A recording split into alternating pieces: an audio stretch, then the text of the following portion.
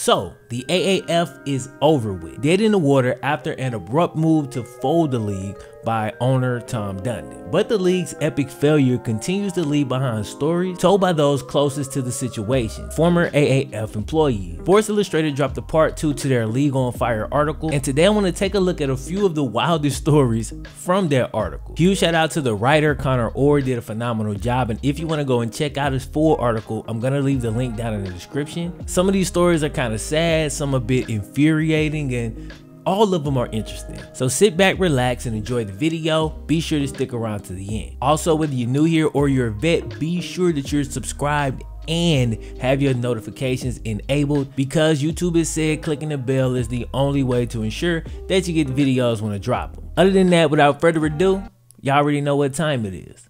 Chew the wang.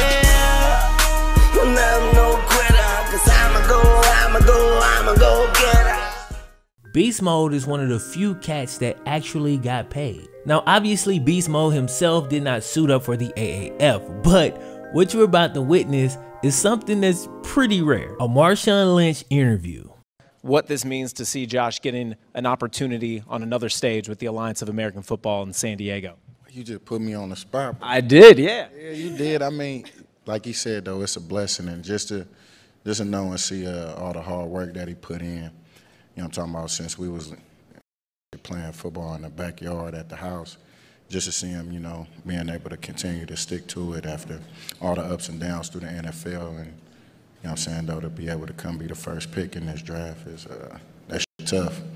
Well, it's amazing to have your cousin here to support you. Good luck, Josh. We can't wait to see you out on the field leading the fleet in San Diego. Congratulations. Let's let's go SD. We bringing it back. All right, guys, you heard it here. Let's go back to the booth. Now, regardless of what you think about the quality of that 40 second clip, Marshawn Lynch managed to get paid from it upfront and in full. When Marshawn's cousin quarterback Josh Johnson, former Bengal, was taken in the AAF draft, Marshawn showed up in support. When Charlie Ebersol found out that the star running back was there, he took the opportunity to ask for an interview. Now, we all know Marshawn's history with the media and could surmise that if he only interviewed for the NFL in order to not be fined, he probably wasn't gonna do an interview here. When asked, Marshawn, in what I believe was an attempt to brush the league off, said he'd do a two minute interview for $5,000. When the league quickly produced a check for that amount, he realized that, alright, he'd been unsuccessful in turning them around, so he then demanded that they take the check back and bring him $5,000 worth of quarters. Now listen, you can't make this up, bro. You bring a man a $5,000 check, he tell you, no, no, no, no, take this back, bring me back 20,000 quarters. This was a request so ridiculous that I'm sure the league got the hint that, okay, he just really doesn't want to do the interview. Despite all of that, Charlie Ebersol swallowed his pride and decided to play ball. So they showed back up the Marshawn's hotel room with 20,000 quarters, bro. Made his demands, paid him in full, and that's how we got that 40 seconds of gold that y'all just watched a few seconds ago.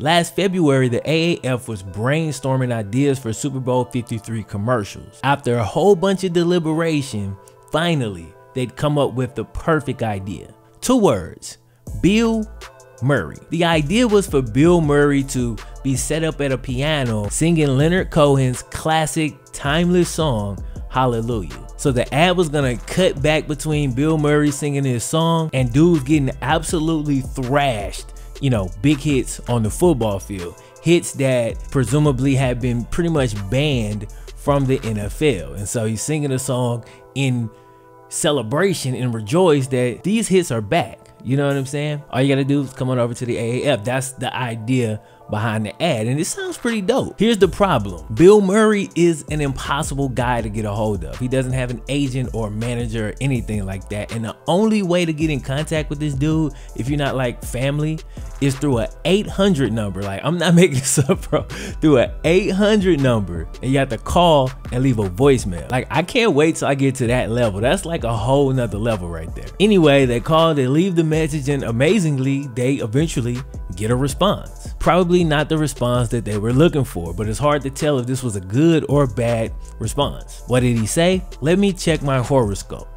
Now, Bill Murray is, he's known as a recluse. He's a little bit out there, kind of march to the beat of his own drum. So when that type of person say, let me check my horoscope, you really don't know how to take it. This could lead to a yes, this could lead to a no.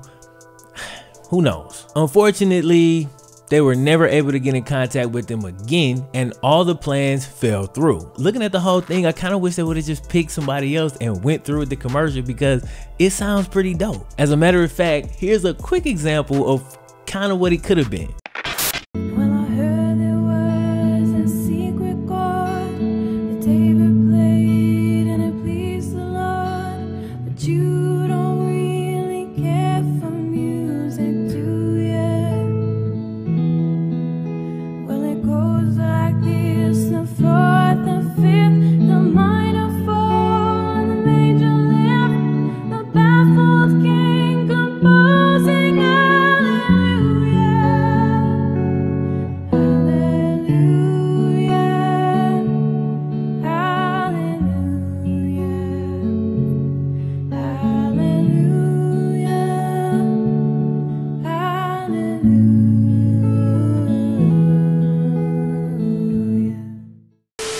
Imagine getting paid in 2KVC or Madden coins only for the servers to go offline the very next day. Yeah, we're going there. So by now, everybody knows about the AAF's notorious money problem. Still, they have promised players bonuses for, you know, certain actions on the field, scoring a touchdown, 100 yard games, even things like community service. Now, they didn't have the cash flow to make this happen week to week, so they figured out a creative way to solve that issue, or at least put a band-aid on it and extend it, push it back, right? They gave the players coins. Now, I don't know what these coins look like, but they were essentially a currency that had no value outside of the AAF. However, the players were told that they would be able to cash these coins in at the end of the season. These this was their bonuses. So you got dudes doing community service every week, hitting all their bonuses, making sure and just stacking up their coins because at the end of the year, boom, they're gonna cash these in and be sitting on a nice piece of change. Some of the players even went as far as to say is that when they was pitched this idea, it was made to seem like they would be able to double their salary with these bonuses if they really went after it. You know what I'm saying? That would suggest that the value of these coins was pretty high, but that value was never defined.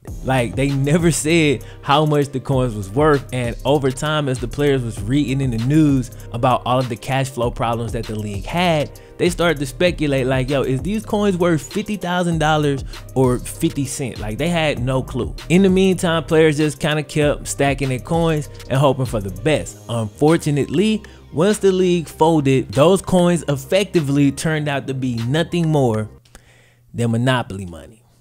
Damn.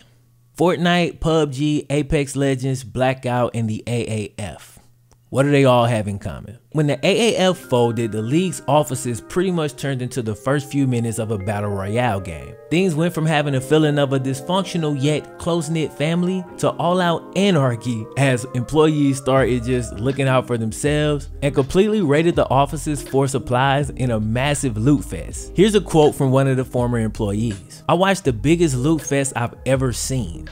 Cameras disappeared, flat screens. I watched a full-time coach walk out the building carrying a 55 inch TV. I watched people carry printers out.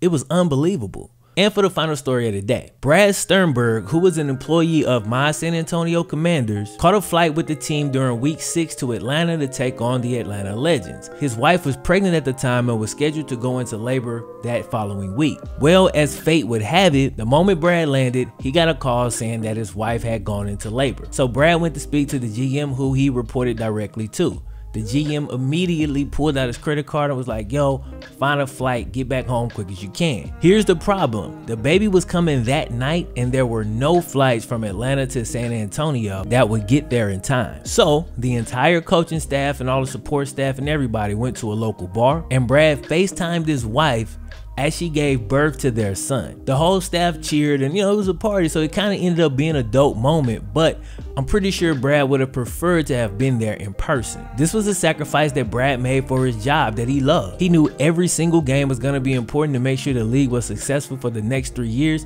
like they had been promised. So he knew he'd sacrifice that moment but at least it wasn't in vain. Two weeks later, the league folded.